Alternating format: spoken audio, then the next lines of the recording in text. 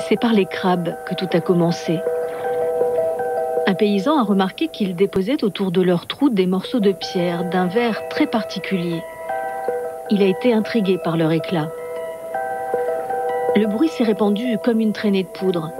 On avait découvert un gisement dans la mangrove, près d'Ambans, des pierres précieuses, plus rares que l'émeraude, le saphir étoilé, plus rares même que le diamant, des grenavères démantoïdes. Je veux amasser tant que je peux pour revendre un lot important et gagner beaucoup d'argent. Et puis j'espère bien sûr trouver le top. Tant que je ne l'ai pas trouvé, je reste ici et je continue à creuser.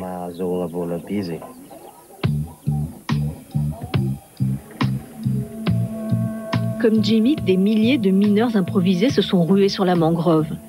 Ils ont creusé des centaines de trous, transformé la forêt de palétuvier en un véritable champ de mines.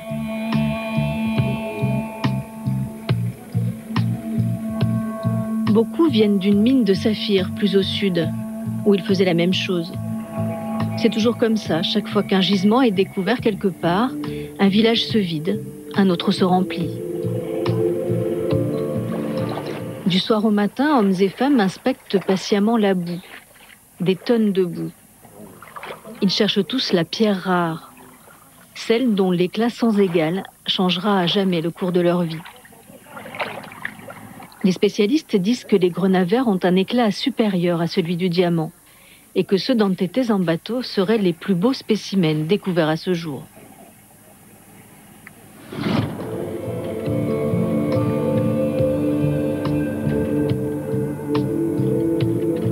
Attirés comme des aimants par les nouvelles pierres, les négociants ont vite marqué leur territoire.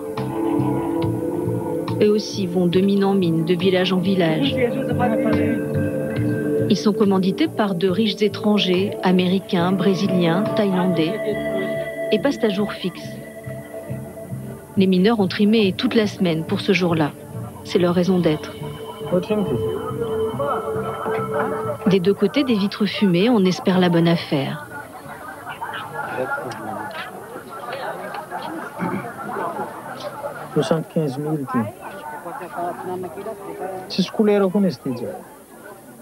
Je passe, je repasse souvent et pour tenter ma chance d'avoir de belles pierres et de grosses pièces qui taillent de 10 carats à 15 carats. Et ce sera unique au monde.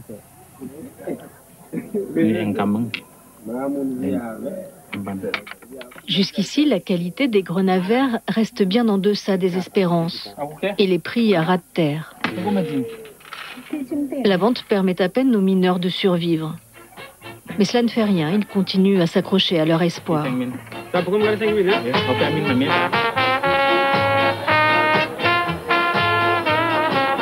Le village d'Antétés en bateau, le plus proche de la mine, a vu sa population bondir d'un coup. Il n'y a toujours qu'un seul puits, un seul générateur, mais on se débrouille pour faire avec. Le cœur du village ne bat plus que pour les mineurs.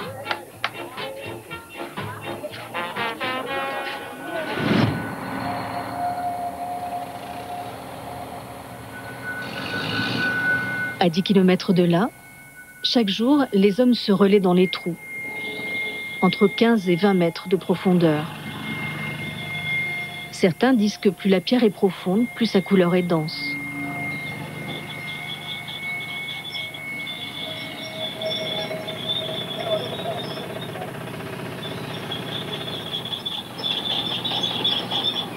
Pour travailler, ils n'ont que les moyens du bord, autant dire rien du tout. Ce réseau de tunnels et de galeries, ils l'ont creusé à main nue, sur des kilomètres.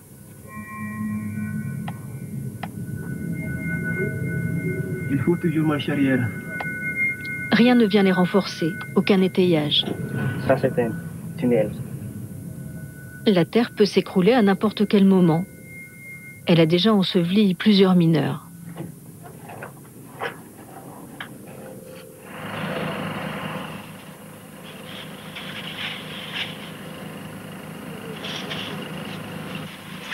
À cette profondeur, l'air devient vite irrespirable s'il n'est pas renouvelé régulièrement. Pour éviter que les hommes s'asphyxient au fond, En surface, les chasseurs d'air tentent comme ils peuvent de les maintenir en vie. Mais le flux de ce carburant, pourtant vital, est dérisoire. À 20 mètres sous terre, la chaleur est étouffante. Et les mineurs ne peuvent compter que sur leurs bras et leurs burins pour casser la pierre. Ils ne peuvent même pas suivre un filon, il n'y en a pas. Le grenavert se cache dans des poches entre deux couches de roches. Il creuse donc au hasard, totalement à l'aveugle. Là, vous voyez, il faut que je casse ce gros rocher pour aller voir derrière. Quand je tape, ça sonne creux et je me dis qu'il y a peut-être quelque chose d'intéressant derrière. Il faut que je creuse encore 50 à 70 cm pour arriver jusqu'à la partie vide.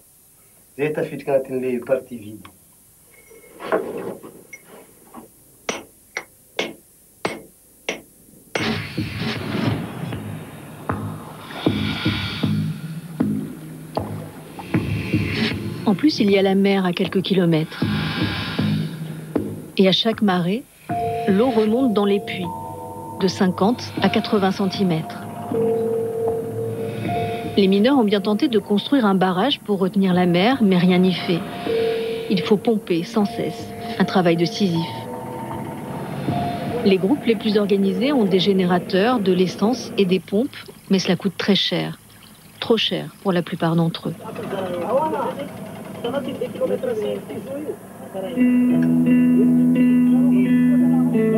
12 heures par jour, la mer oblige donc les mineurs à sortir de leur trou. 12 heures de gâchés dans leur poursuite éperdue de la fortune. C'est vrai que le travail est très dur dans le puits. Et pour le moment, il ne m'apporte pas grand-chose. Mais je ne veux pas renoncer, pas encore. Je suis prêt à continuer à travailler dur, même si je ne gagne pas beaucoup. Je veux continuer à tenter ma chance. La chance de devenir riche. On a tous cette idée-là en tête. Des fois, je me demande, est-ce que je vais tenir encore longtemps? Est-ce que ça vaut vraiment la peine? Si c'est juste pour gagner de quoi manger, je préfère retourner chez moi, faire un autre métier moins risqué, moins dangereux.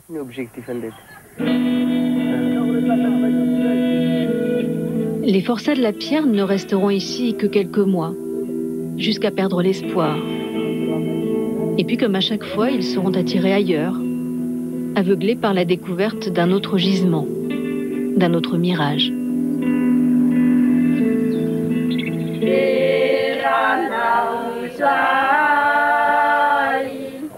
Sur la route qui nous conduit vers le nord, notre prochaine étape sur la RN7, c'est Antirabé.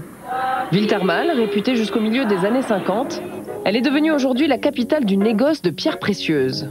Pas de diamants verts ici, mais nous ne serons pas en reste. Francia, commerçante, nous reçoit chez elle et nous dévoile son trésor. Son jardin, c'est son atelier, et sa salle à manger, son hall d'exposition. Qu'est-ce que c'est ça? C'est de l'émeraude, euh, rubis, euh, il y a le saphir aussi. On trouve euh, citrine, améthyste, quartz rose, grenat.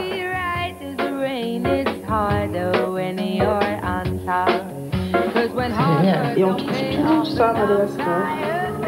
Je ne trouverai jamais autant de pierres précieuses autour de moi. Je vais en profiter, je vais me prendre un bain de pierres. Est-ce qu'il faut être passionné euh, par ce métier? Parce que, oui, oui, bien sûr, parce que la pierre, c'est magique. Hein. Ouais.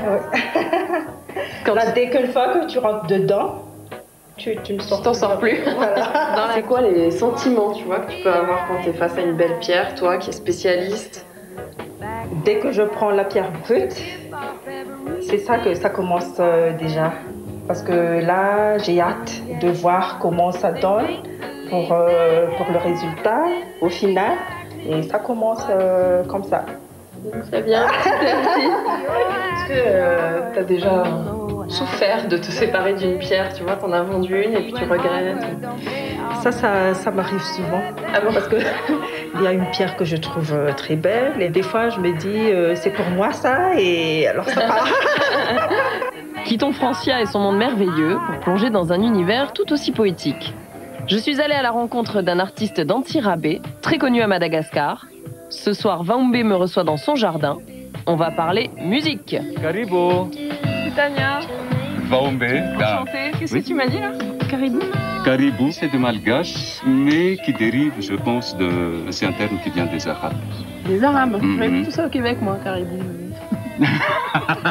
Ici, ça n'est pas une bienvenue, donc t'arrives et puis euh, on dit caribou, ça veut dire euh, entrez, prenez place. euh.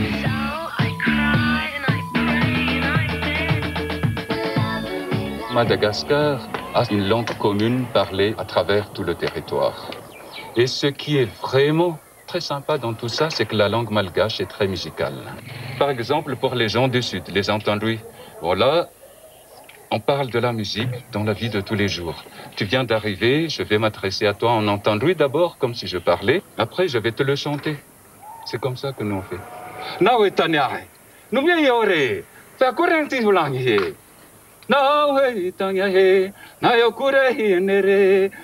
Ulangi ntingere. Il y a quoi comme instrument euh, propre à, à l'île de Madagascar? Nous avons une série de flûtes qui commencent par le sifflet. C'est juste euh, un sifflet à un ton et à chaque sifflet correspond une note. Et du coup, aujourd'hui, dans la musique euh, contemporaine, euh, mais malgache, on utilise quand même ces, ces instruments. On mélange en fait les guitares, les instruments euh, Allègrement, allègrement. allègrement selon les styles et les envies de chacun. Et notre vie elle-même à Madagascar est musique, pour ne pas dire musicale. Bon, Vaumbe, tu vas nous jouer un, un petit morceau maintenant? Euh, certainement pour le te plaisir. plaît. Ah, non, non, non, Ah, le plaisir sera partagé. Une chanson en exclusivité pour nous.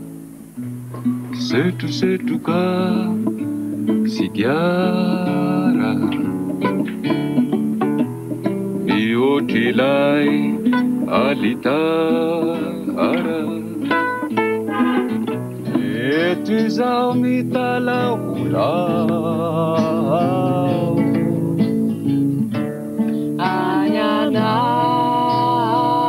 anyanao tiko eoiana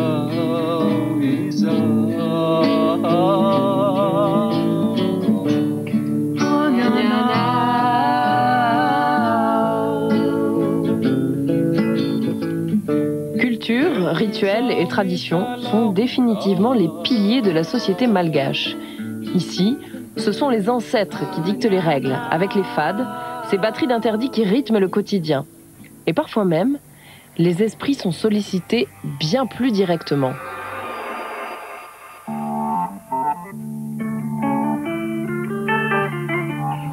Quand l'œil du jour, le soleil en malgache se couche, commence une mystérieuse cérémonie.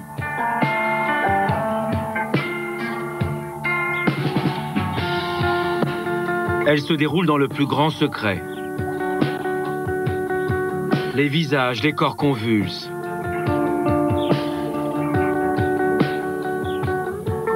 C'est un rite dont on murmure à peine le nom, Trombe, une transe collective en l'honneur des ancêtres, prince et roi Sakalav. La frontière entre le monde des vivants et le monde des morts n'existe plus le temps d'une nuit, parfois plus.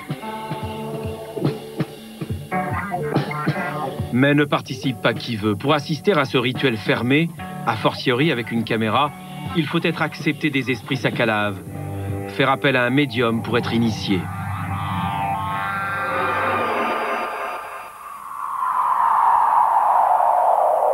C'est Net et Florida qui vont solliciter les esprits. Ce sont deux ferventes catholiques qui, lorsque les ancêtres les appellent, se métamorphosent. Cet après-midi, c'est Net qui va être possédée. À travers elle, un esprit va se manifester. C'est lui qui acceptera ou non notre présence lors de cette cérémonie interdite normalement aux profanes.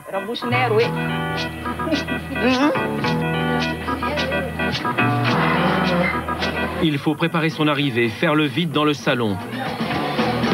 C'est la seule fois où les hommes de la maison sont mobilisés.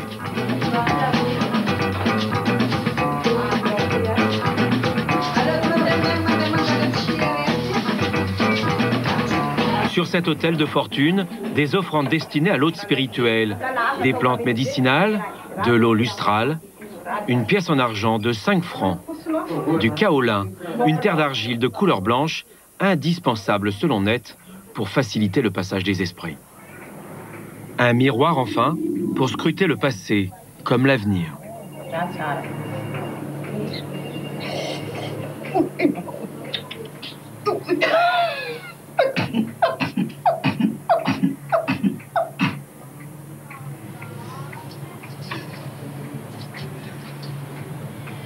Net est possédé. Rideau, la transformation s'opère.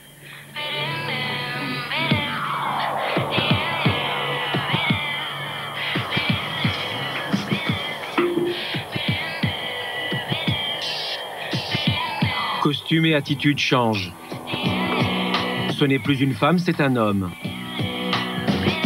Ce n'est plus un être vivant, c'est l'esprit fumeur et buveur.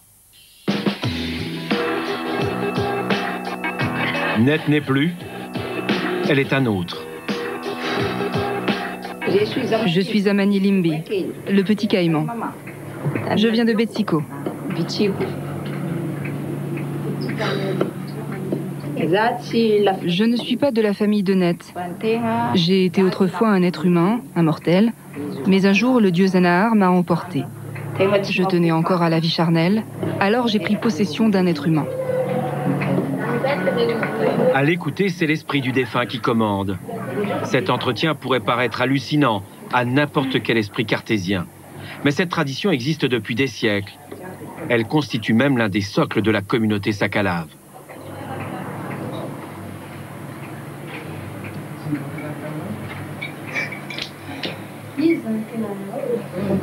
Une heure plus tard, Net est sonnée. Un peu comme si elle se réveillait d'un profond sommeil.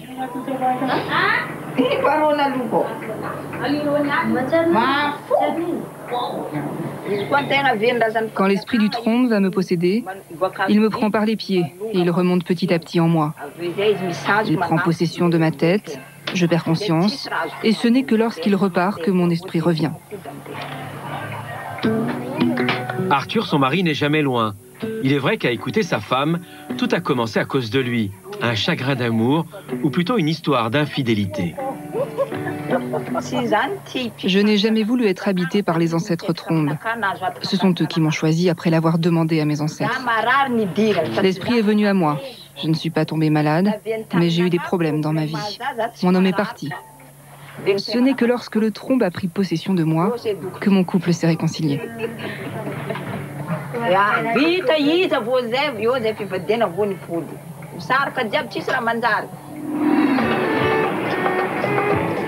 Dans les rues de Diego la Métisse, aucune trace visible de cette croyance animiste. Seules les religions du livre s'affichent au grand jour. Ici, la mosquée côtoie le temple ou encore l'église. Pour trouver la clé d'entrée de cette religion secrète, il faut se rendre à la messe, celle du père Jawelo. Sans lui, nous n'aurions jamais pu faire la connaissance de Net. Docteur en théologie, le père Jawelo a consacré sa thèse d'État au rituel du trône. Son grand-père était médium, lui a hésité. Finalement, il n'a pas vraiment choisi.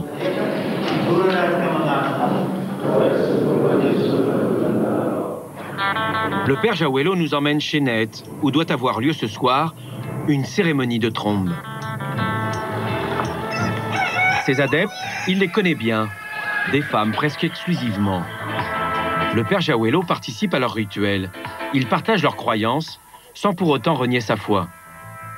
Quand je viens euh, assister à des séances de ce genre, à des séances médiumniques, je participe, euh, je dirais, activement à la cérémonie, au rituel. Donc le fait qu'un euh, prêtre assiste à des séances médiumniques, ceci signifie le dialogue interreligieux, que l'Église s'approche de, de l'humanité, des réalités humaines. Pendant ce temps-là, les hommes, eux, ruminent leur ennui dans les feuilles de cat, une plante hallucinogène qui les rend indifférents au va-et-vient des esprits.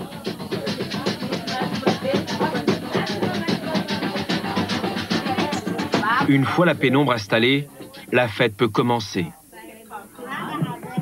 Tout est codifié. À l'intérieur, il y a les simples adeptes, les devins et les sanctificateurs, ceux qui vont accueillir un esprit.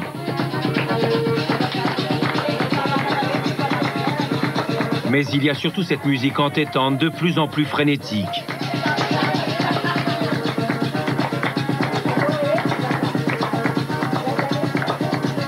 Face à l'hôtel, drapé dans son lambe, l'étoffe rouge, le maître médium a pris place.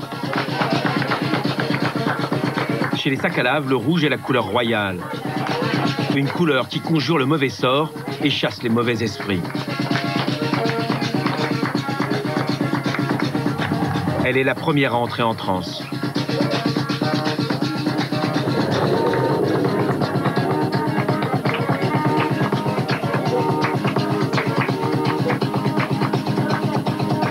Cours de cette cérémonie, les esprits, l'un après l'autre, prennent possession du corps des médiums.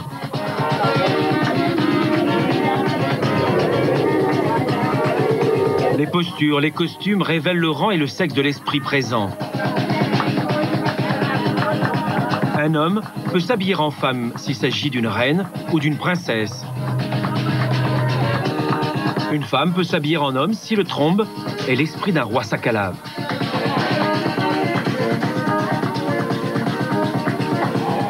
Un curieux théâtre où l'histoire de Madagascar serait rejouée par ceux-là même qui l'ont vécu. Des princes malgaches en habit d'apparat, des gouverneurs de l'époque coloniale, Puis vient le tour de Net.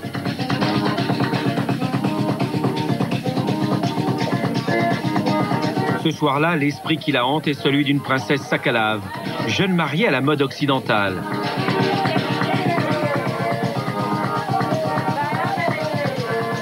Esprits sont là.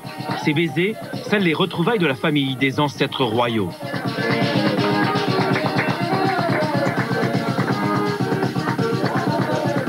Dans un coin de la pièce, le père Jawelo observe la scène. D'un œil bienveillant, le culte du trombe pourtant n'a pas toujours été en odeur de sainteté. Il a résisté aux missionnaires chrétiens qui flairaient le diable et la sorcellerie, là où d'autres ne voyaient que beuverie collective pour noyer le malheur ou chercher l'appui des morts contre les colons. Un non-initié, il est vrai, aurait l'impression d'échouer dans un tripot pour femmes. En fait, d'après les croyances, ce sont les esprits qui voient. Et lorsque le médium revient à la normale, euh, même s'il a bu un litre de rhum, un litre de whisky, eh bien, il n'est pas ivre. On croit que c'est l'esprit qui a bu et l'esprit emporte l'ivresse.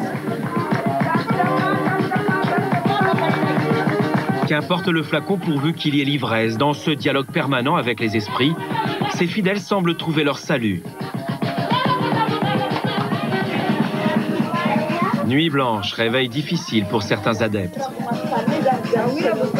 Mais les esprits, eux, sont toujours gaillards, comme nous l'avait affirmé le père Jawelo.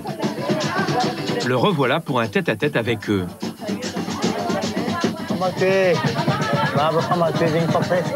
Papa est déjà vieux. Il reste presque tout le temps en ville.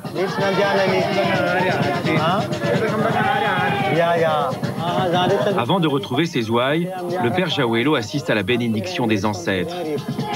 Invoqué pour soi, pour les siens ou comme aujourd'hui pour le pays, fragilisé depuis 2009 par l'instabilité politique. Veillez sur notre gouvernement afin que le pays reste soudé. Faites que les peuples s'aiment de plus en plus. Protégez notre État pour que tout aille pour le mieux.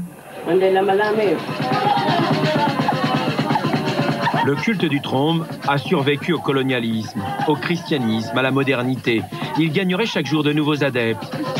À la prochaine lune, d'autres trans auront lieu, toujours dans le plus grand secret et jamais très loin du pain de sucre, le symbole de Diego Suarez.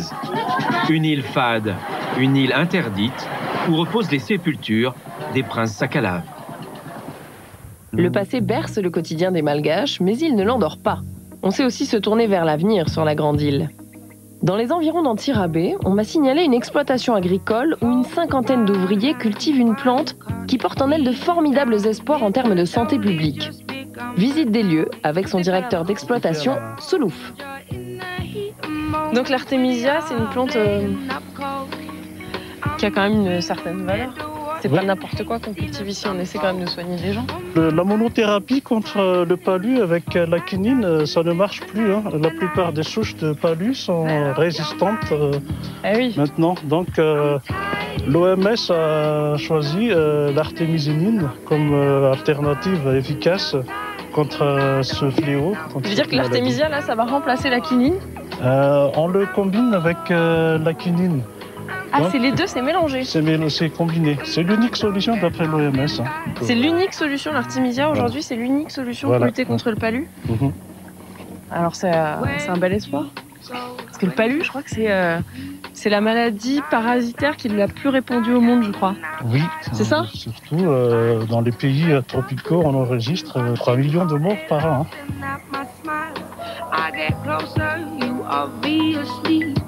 actuellement, nous avons aux alentours de 6000 euh, paysans euh, sous contrat avec nous. 6000 paysans sur toute l'île de Madagascar, de Madagascar. Ah oui, c'est bien. Et, ça peut augmenter? Ça peut augmenter. On vise pour l'année prochaine euh, d'augmenter jusqu'à 10 000. Ah ouais Sympa la photo.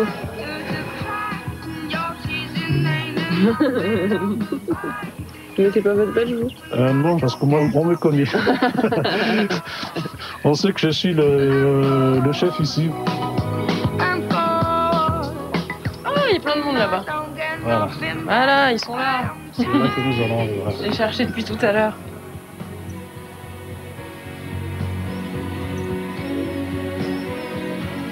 Et comment vous en êtes venu alors à, à travailler ici pour l'Artemisia? Qu'est-ce qui vous a poussé à venir ici?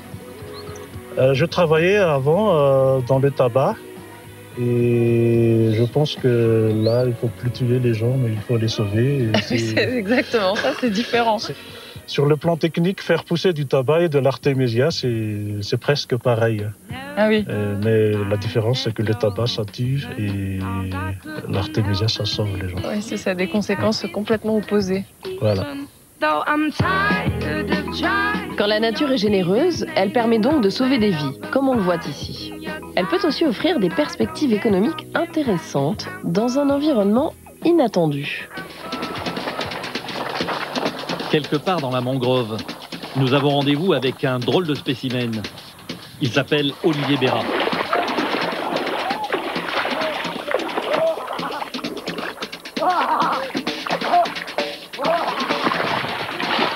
Facile à définir. L'individu est à la fois businessman, naturaliste et surtout aventurier. De ce côté-là, il a de beaux restes. Durant des années, il a étudié toutes les espèces de crocodiles que compte la planète. Mais aujourd'hui, Olivier met toute son énergie dans la conservation de la biodiversité par l'économie. Et ici, il y a de quoi faire. Désormais, il se consacre à la production d'huiles essentielles, des produits destinés au secteur de la beauté et du bien-être. Ses clients, les plus grandes marques françaises du secteur. Et peut-être bientôt, Bertrand Duchaufour, un parfumeur parisien en vogue.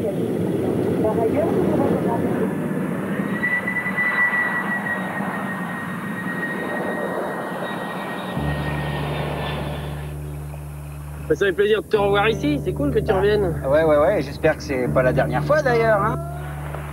Nous partons pour Vuiman, à 4 heures de route de la capitale. Vuiman, c'est un trésor vert. On y recense plus de 150 plantes médicinales et aromatiques. Olivier en assure la gestion. On a commencé le développement des huiles essentielles vraiment ici à, à Après, on a travaillé sur, sur les autres sites pour essayer de, de dupliquer. Mais c'est vraiment ici que tout a commencé. L'envie de faire les projets de terrain.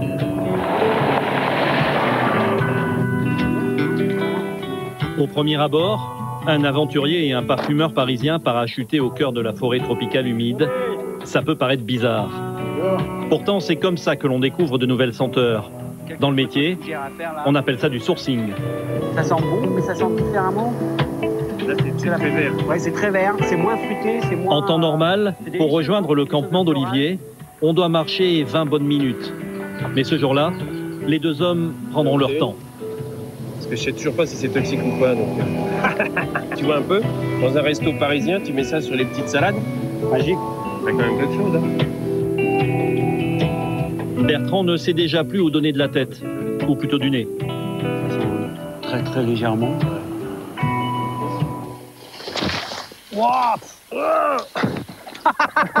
11 000 km pour venir voir cette fleur, voilà. 22 000 aller-retour. Pour, euh, pour faire ce qu'on appelle du sourcing. Mais alors là, c'est vraiment du sourcing euh, de chez sourcing, c'est-à-dire que on n'en est même pas à trouver une huile essentielle, on en est à la fleur. hein. Voilà. Mais elle n'est pas déjà utilisée cette fleur Ah non, non, justement, on n'en connaît rien, absolument rien. Je peux même pas te dire ce qu'elle pourrait valoir après extraction de son principe odorant, hein, je peux pas te dire. Quelle aventure Je vous jure Bah, bienvenue à Wiman, mon ami. Allez, à Voiman. À Wiman, et au parfum. Et au parfum.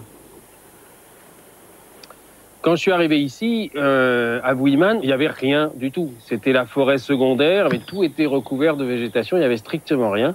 Et puis on, bon, on a regardé, j'ai vu les cascades, j'ai vu les chutes d'eau, c'est un endroit magnifique. J'ai dit, bon, ok, installons-nous là. Puis c'est là qu'on a commencé à installer le premier bâtiment, le deuxième, le troisième, le labo, la distillerie, etc. En quelques années, Wiman est devenue une petite entreprise qui tourne. Elle fait vivre une quarantaine de familles, ce qui n'est pas rien pour le pays. Avec son ONG L'Homme et l'Environnement, Olivier a mis en place un système de collecte de plantes qui servent à la production des huiles. Elles alimentent le marché en pleine expansion de la cosmétique et de l'aromathérapie. En ce moment, à Wiman, c'est la période du gingembre papillon. La cueillette, c'est pas trop pénible. Ce qu'il y a de plus fatigant, c'est le transport des feuilles. Couper les feuilles, ça va, mais transporter pour une femme, c'est très lourd. On a du mal.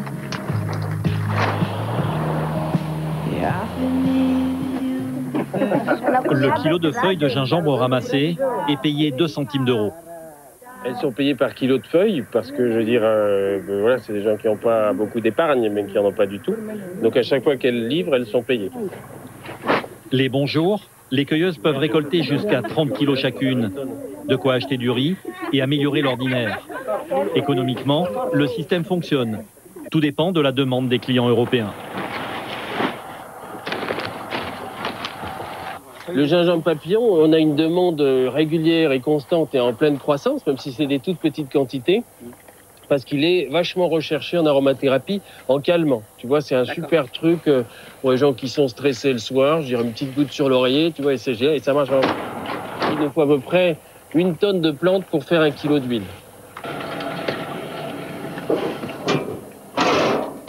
Voilà, Là, il y en a pour trois heures maintenant. Trois heures de distillation. Ouais.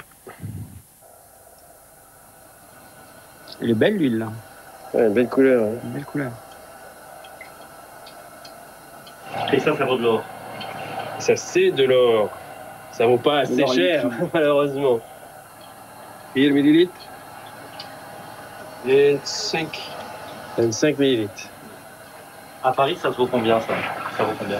Là, je crois qu'ils vendent ça, ça doit être du style 20-25 euros les 10 millilitres. C'est une huile très chère. T'as vu ça un peu C'est euh, c'est étonnamment confré. Cette huile, pour Bertrand, Confré ça n'est qu'un produit médicinal.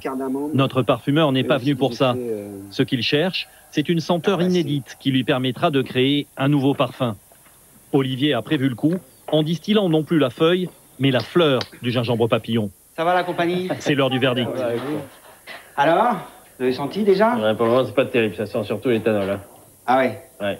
C'est ça Il faudra qu'on fasse des tests d'extraction avec. euh, Ça J'ai sauté un peu. Ah d'accord. Tu sens quelque chose au fond? Oui, ouais, je sens. C'est sûr, ça sent. Mais pas forcément le résultat escompté, hein, je vais te dire. Je sens pas beaucoup la fleur. Non. Ça a tué la fleur. Ouais, ouais.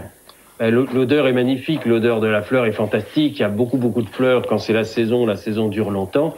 Donc pour nous, c'est un espoir génial. La fleur, elle est belle, l'odeur, elle est bonne. Maintenant, il faut travailler effectivement avec des, chercheurs, avec des spécialistes, avec des parfumeurs pour trouver le meilleur moyen de le faire. Ça, c'est pas simple. En plus, on est obligé de faire ça ici, puisque la fleur est tellement délicate qu'on peut pas la transporter. Voilà, donc euh, il faut trouver des moyens adaptables à l'environnement pour pouvoir extraire correctement le principe floral de cette fleur. C'est pas gagné.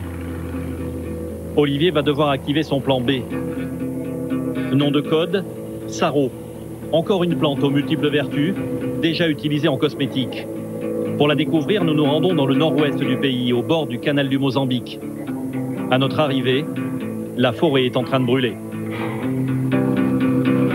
Là, on voit les feux en bas, qui sont les premiers feux. Oh Considèrent qu'il y a 200 à 300 000 hectares de forêt qui partent en fumée tous les ans à Madagascar à l'heure actuelle. Il ne suffit pas de dire euh, c'est dramatique, c'est pathétique, mais ça l'est, mais il faut essayer de trouver des vraies solutions qui vont tenir compte aussi de la culture des populations locales et de l'inertie du changement. Là, on est au-dessus de, de Tiankir, on arrive sur Tiankir. Tiankir, c'est un petit village du de mer où on a installé notre premier alambic pour faire la production de l'huile essentielle de Saro. C'est le canal du Mozambique qu'on a en face de nous, là. Là, on est à peu près à 400 km des côtes africaines. Là, on arrive au cirque rouge, une merveille naturelle malgache.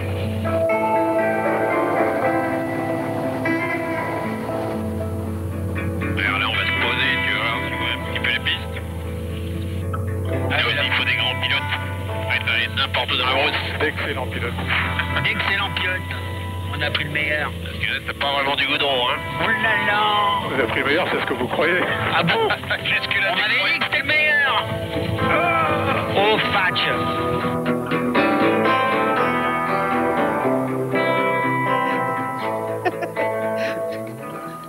Avant de découvrir les vertus du sarro, il faut encore marcher à travers un paysage lunaire et traverser la forêt des Lémuriens, ou du moins ce qu'il en reste. Donc là, tu vois, c'est ça qui m'a décidé à, intervenir rapidement ici. C'est qu'on l'a vu par avion, ici c'est complètement brûlé. Et ça, c'était de la forêt. Oh putain, regarde là-bas, viens voir, viens voir. Viens, mais doucement.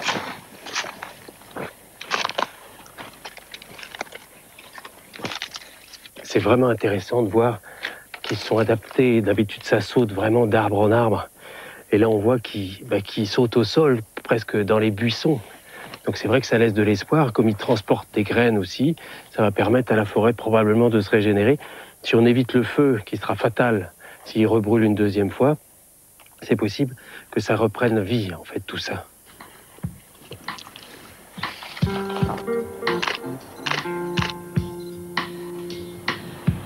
Siankir, aux heures les plus chaudes, c'est un village fantôme.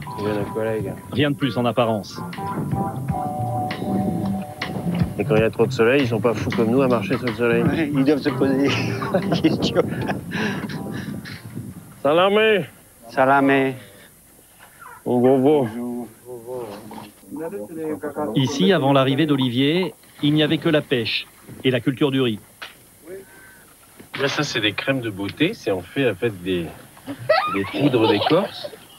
Et c'est vraiment un truc qui, euh, qui est très connu ici, utilisé de tout temps. C'est des écorces, il y a du catrafa, il y a des bois de santal qu'ils utilisent.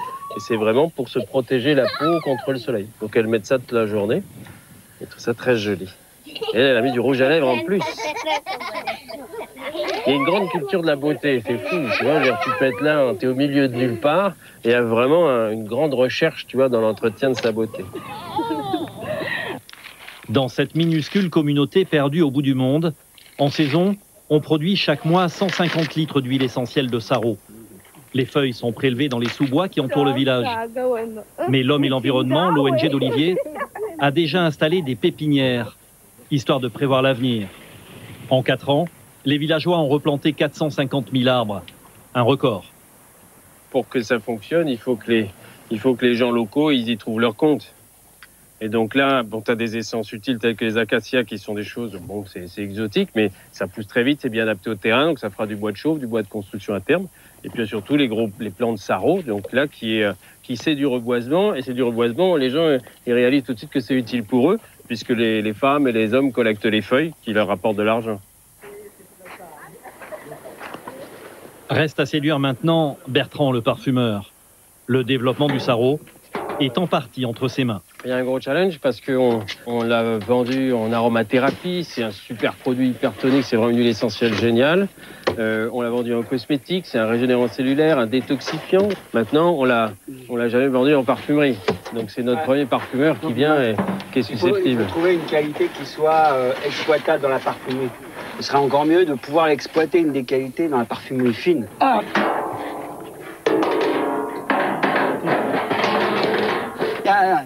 tout est envisageable. Pour le moment, il faut que je vois. Tiens, voilà. Il y en a six, d'accord. Il y a six. Donc nous, on a trouvé différents. Maintenant, à, toi de voir. Non, ça, c'est dégueulasse. Non, pas dégueulasse, non, non, je, je suis méchant. salaud. Non, c'est médicinal. Ça, c'est pas mal, moyen. Non, ça, c'est très médicinal. Celui-là, il a cette caractéristique euh, d'être plus. Euh, de virer un peu sur le géranium, sur, euh, sur un peu des effets rosés. il est bon. Il est bon. Donc, je pourrais essayer d'exploiter ça. Si tu hum. me le produis à, je sais pas moi, 40-50 euros, ça pourrait être intéressant. Une nouvelle fragrance vendue à l'échelle planétaire, c'est des dizaines de tonnes de produits. Si le Sarro parvient à rentrer dans le cercle très fermé des grands parfumeurs, ça sera bingo pour ces villageois et pour Olivier. Cette année, j'espère qu'on va faire une tonne. On est parti de rien. Le Sarro, c'est moi qui ai créé le nom, personne ne le connaissait. Maintenant, vous allez dans des bouquins d'aromathérapie, vous trouvez ce produit. Donc, idéaliste, oui, mais c'est possible, on y arrive. Donc, il n'y a pas de raison. J'espère que ça, ça va marcher aussi. Les habitants de Tiankir, comme ceux de Wuiman, se sont constitués en coopérative de production. L'avenir est désormais entre leurs mains. Mon carburant, c'est eux. Mon carburant, c'est les gens qui s'impliquent que ce soit eux ou maintenant de par le monde, c'est les gens qui ont, qui ont envie de faire, qui ont envie de travailler, qui fassent, qu'ils soient de la brousse ou qu'ils soient de l'université. Je veux dire que c'est eux qui, qui, font les choses. Et c'est ça qui me plaît. Quand on le voit arriver, euh, les gens pensent que voilà, un euro qui, quelques euros qui arrivent à, la zone. C'est un tiroir caisse? C'est un tiroir caisse, si c'est possible. On, essaie d'en soutirer, mais on n'arrive pas. Atiankir Besata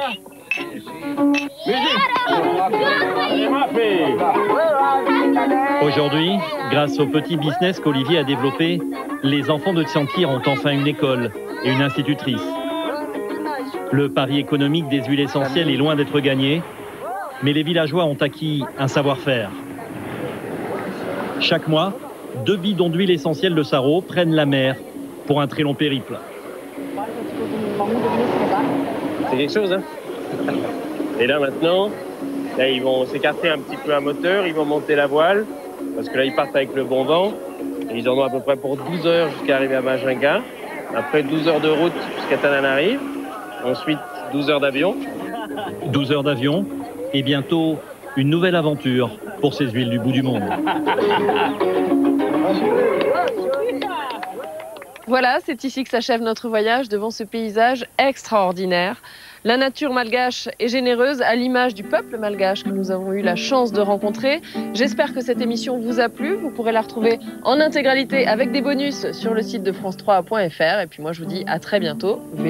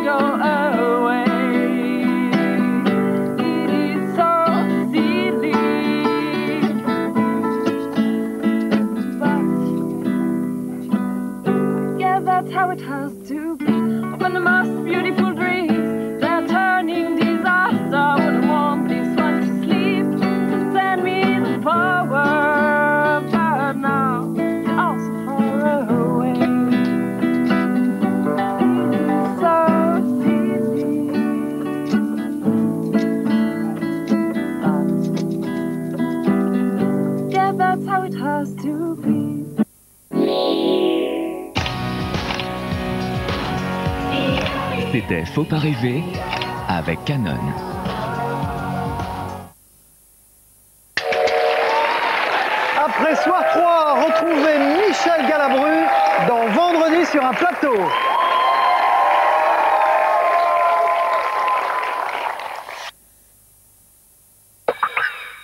Bonsoir, dans un instant, soir 3, avec d'abord une manifestation monstre aujourd'hui au Caire, mais la situation est restée calme. La page du printemps arabe n'a toujours pas été tournée dans le pays.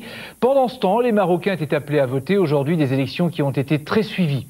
Le nucléaire, au cœur du débat politique en France, Nicolas Sarkozy a pilonné l'accord PS vert sur la sortie du nucléaire. Et puis notre face-à-face ce soir avec une question. Quel avenir pour les jeunes? À la suite d'une enquête qui montre que les adultes sont pessimistes pour les nouvelles générations Après la météo de Jean-Marc Swamy, à tout de suite. Jennifer Gomez a été assassinée. Magellan va devoir annuler son week-end. C'est bien ce que je disais. Va pas falloir nous l'énerver, le commissaire. Vous vous la pétez un petit peu.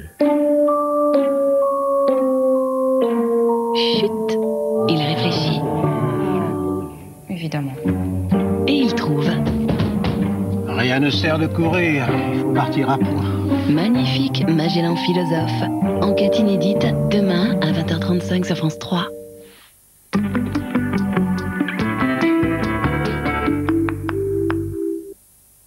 Dans vos pâtes, vous voulez un peu de gruyère? Oui Voilà. Qu'est-ce que tu fais? Mets les verres. Comme ça, ils vont les partout. Ouais, mais dans les. Chaque année, les banques alimentaires récoltent de quoi nourrir plus de 700 000 personnes. Va te servir dans le frigo. Sans cette nourriture, la vie s'arrête. Les 25 et 26 novembre, donnez.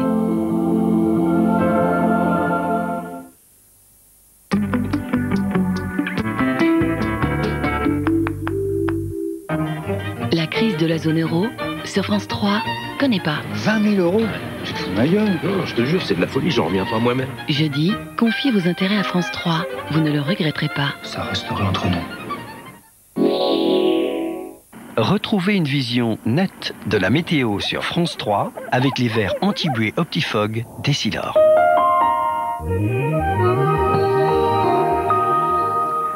Madame, Monsieur, bonsoir. Pour le nord du pays, en tout cas euh, l'île de France et le nord-est, on n'a pas vu le soleil depuis trois jours, quatre jours du côté de Strasbourg où ils ont même été deux jours dans un plein brouillard. Eh bien demain matin, ça ne va pas changer. On aura toujours des nuages bas de la côte atlantique jusqu'aux Ardennes, un peu mieux sur euh, les côtes de la Manche, nettement mieux autour de la Méditerranée grâce au Mistral et à la Tramontane. Et entre les deux, nuages et pluie, petite pluie. Dans l'après-midi, la perturbation va se désagréger pour laisser place, vous le voyez, à quelques rayons de soleil du sud-ouest jusqu'au Jura. Partout ailleurs sur le centre du pays, l'île de France et l'est, des nuages bas, encore ce sentiment de, de lourdeur, de bah, désagréable. Et puis sur les côtes de la Manche, du soleil, comme sur la Méditerranée. Les températures pour demain matin, elles sont stables, avec une petite baisse du côté de Grenoble, zéro. Donc sur la partie est, beaucoup de gelée matinale. Dans l'après-midi, nous allons retrouver des températures de saison, voire un peu plus élevées, de 6 à 14 sur la moitié nord et de 8 à 19 sur la moitié sud. La suite